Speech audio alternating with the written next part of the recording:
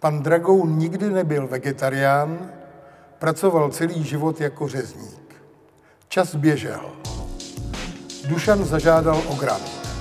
Pak první Honza natočil první reportáž v Národním zemědělském muzeu. Ivan ztratil molitanový kryt na mikrofon v trafačce a někdo ho vrátil. Čas běžel. Druhý Honza nám pomohl technicky. Třetí Honza si sedl ke špatnému stolu a vydržel jen rok. Čtvrtý Honza nedávno vyrobil dřevěné kolo. Boris natáčel pomalé reportáže. S Františkem Artičok expandoval. Čas běžel.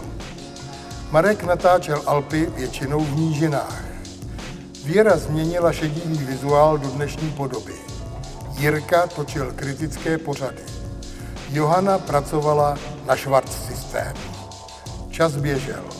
Erik se nakonec vrátil na východ. Radim natáčel pět reportáží za večer.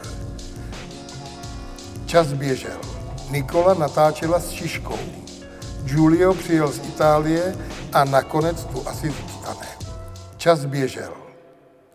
Uplynulo deset let a pan Dragoun se nestal vegetariánem, ale může oslavit deset let s artičokem.